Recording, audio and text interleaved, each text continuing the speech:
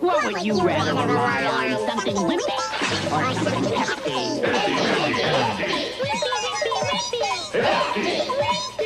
Wimpy bags are fine for wimpy jobs, but don't send one to do a hefty job. When the pressure's on, hefty stretches where wimpy bags break. One bag you can rely on? Then don't send a wimpy bag to do a hefty job.